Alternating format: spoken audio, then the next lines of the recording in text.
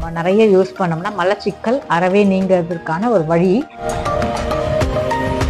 ஒரு நாளில் மட்டும் செஞ்சுட்டா போடாது. தினமும் தொடர்ச்சியாக செஞ்சுட்டே வந்தோம்னா இந்த மலச்சிக்கல் பிரச்சனையிலேருந்து இந்த ஆட்காட்டி விரலை மடக்கிட்டு அது மேலே இந்த கட்டை விரலை அழுத்தி வைக்கிறது. இது பேர் அந்த மாதிரி ஒரு கிழிச்சு படுத்தாலே மலமானது எளிதில் பிரியும்னு சொல்லிட்டு சித்தர்கள்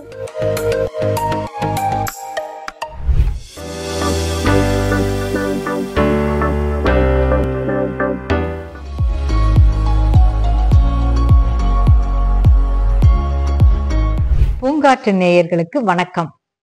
நான் சித்த மருத்துவர் டாக்டர் அருள் சுருபி. இன்னைக்கு நம்ம மலச்சிக்கல்ன்ற டாபிக்கை பத்தி ரெண்டாம் பாகம் நம்ம பார்க்கலாம்.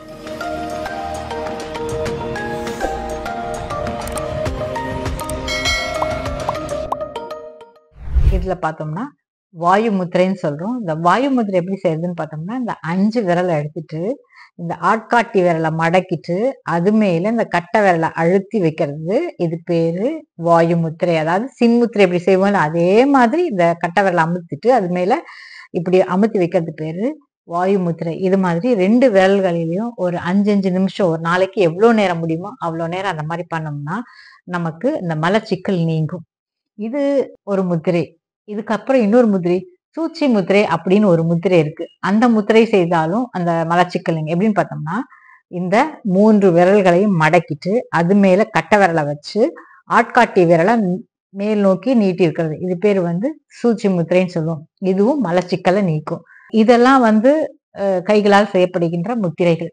நம்ம பொதுவா வந்து இந்தியன் டாய்லெட்டை வந்து நம்ம நிறைய யூஸ் பண்ணோம்னா மலச்சிக்கல் அறவே நீங்கிறதுக்கான ஒரு வழி இதுல வந்து மலாசனம் சொல்லக்கூடியது எப்படி நம்ம இந்தியன் டாய்லெட்ல நம்ம உட்காருவோமோ அது மாதிரி உட்கார்ந்துட்டு ரெண்டு கால்களை சேர்த்து இறுக்கி பிடிச்சி இப்படி உட்காரது பேர் தான் மலாசனம் சொல்லுவோம். இந்த மலாசனம் பழகுறவங்க தொடர்ச்சியா டெய்லியா காலையில ஒரு அஞ்சு நிமிஷத்துல இருந்து பத்து நிமிஷம் செஞ்சாங்கன்னா மலச்சிக்கல் வந்து அறவே நீங்கிடும். எனக்கு இதெல்லாம் செய்ய முடியாது எனக்கு ரொம்ப கஷ்டம் அப்படின்னு நினைக்கிறவங்க தூங்கி எழுந்து வாய் பல் அதெல்லாம் துலக்கிட்டு ஒரு அரை லிட்டர் அளவு வெந்நீர் வெது வெதுப்பா ரொம்ப கொதிக்க கொதிக்க வேண்டாம். வெது வெதுப்பான வெந்நீரை குடிச்சிட்டு இடது கைய தலகாணியை வச்சு படுப்போம். அது மாதிரி இடது கைய தலைக்கு கீழே இப்படி வச்சு ஒரு கழிச்சு லெஃப்ட் சைட்ல நம்மளோட இடது பக்கத்துல இடது கையை திரும்பி இடது கையில வச்சு இடது பக்கமா ஒரு கழிச்சு ஒரு பத்துல இருந்து இருபது நிமிடங்கள் அந்த வெந்நீர் குடிச்சிட்டு அந்த மாதிரி ஒரு கழிச்சு படுத்தாலே மலமானது எளிதில் பிரியும்னு சொல்லிட்டு சித்தர்கள் சொல்லியிருக்காங்க. இது ரொம்ப சுலபமானது. ரொம்ப கஷ்டமான முதிரை கூட கிடையாது. தண்ணியை குடிச்சிட்டு தலைக்கு கையை இடது கையை வச்சுட்டு இடது பக்கமா ஒரு கழிச்சு ஒரு பத்துல இருந்து இருபது நிமிஷம் படுக்கும்போது நமக்கு தெரியும். மலமானது இறங்கி வந்து அடி வயிற்றுல முட்டுறதை நம்ம ஒவ்வொருவரும் அனுபவபூர்வமா உணரலாம். அப்படி இருபது நிமிஷங்கள் பத்தல அப்படின்னா இன்னும் கொஞ்சம் சுடுதண்ணி குடிச்சிட்டு இன்னும் ஒரு பத்து நிமிஷம் கூட ஒரு பத்து நிமிஷம் இடது பக்கமா ஒரு கழிச்சு படுத்தோம்னா தலைக்கு கீழே வச்சு படுத்தோம்னா மலமானது எளிதில் கழியும். இது வந்து ஒரு நாள்ல மட்டும் செஞ்சுட்டா போடாது. தினமும் தொடர்ச்சியா செஞ்சுட்டே வந்தோம்னா இந்த மலச்சிக்கல் பிரச்சனையிலேருந்து எளிதில் விடுபடலாம். இன்றைக்கு மலச்சிக்கல்ன்ற டாபிக்ல உங்களோடு நான் எல்லா கருத்துக்களையும் பரிமாறிக்கொண்டேன்.